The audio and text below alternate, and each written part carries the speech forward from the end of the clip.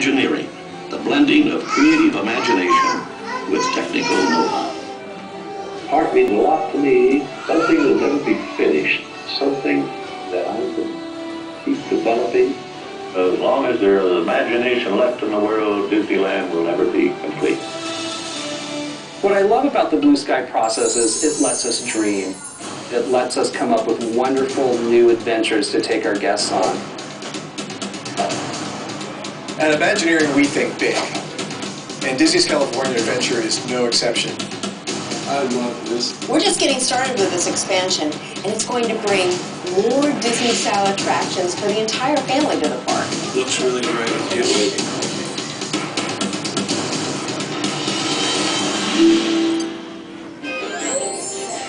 We recently completed the all-new games of the Boardwalk with four classic games featuring some of our favorite Disney and Pixar characters. These games are so fun to play, you have to try them.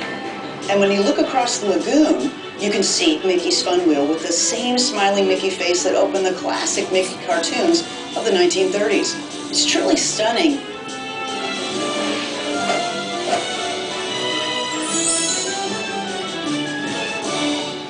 everybody and welcome to World of Color.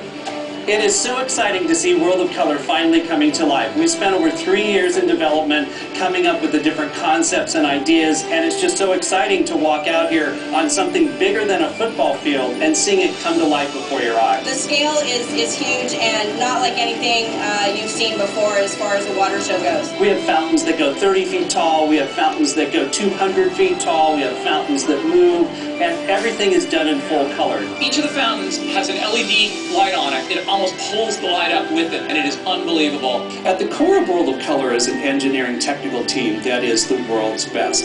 We come to them with all these crazy ideas, and they're the ones who really bring the magic to life. We've put in fountains and flames and video and lighting and combined it in a way that has never been done before. They're putting in a brand new viewing area for the show, and I'm so excited about it. We have pushed the fountains as close as we can to the audience to really give kind of this epic feel. It's three-dimensional. I mean, you know, we, we, we can bring the fountains really, really close to you. We're working with Jason Badger. He's a brilliant animator, kind of choreographer. And what we do is we'll take a sequence like Pocahontas, we'll take the music, we'll load it into the computer, and then in real time we'll actually program the fountain. It all originates from here. All the programming for every single fountain, every single nozzle. Our whole cast is made up of fountains, and the fountains are the actors that are going to come to life and tell all the different Disney stories. And now your host, Walt Disney.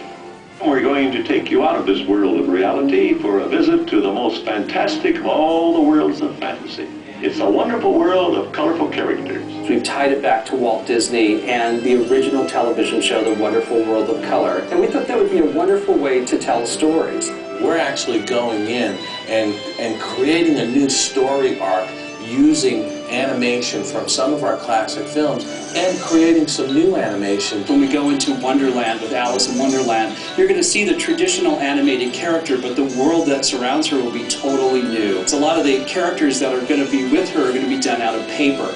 We're working with a magnificent artist. She literally is bringing cut paper to life. It's truly something people haven't seen before, and it's really going to be a magical experience. It's just absolutely astounding. It is funny. It is exciting, it is thrilling, it's adventurous, and I think it's what Disney does best, storytelling. I hope everyone's going to come to the opening of World of Color. That's the place you need to be. We still have so much in store for Disney's California Adventure, and all the great attractions that you love, like Soarin' Over California, Tower of Terror, and California Screaming will still be available to all of our guests during this expansion. Paradise Pier is getting Silly Symphony Swings, a classic swing attraction based on Mickey's band concert. And in 2011, we're going to take you under the sea on our first ever attraction based on The Little Mermaid. We'll also be bringing to our guests a whole new main entry called Buena Vista Street. It's going to transport our guests back to the 1920s when Walt Disney first came to California.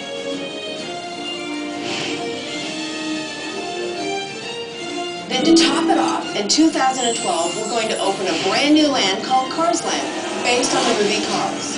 Three major attractions, an entire town. It will immerse the guests in the world of Radiator Springs.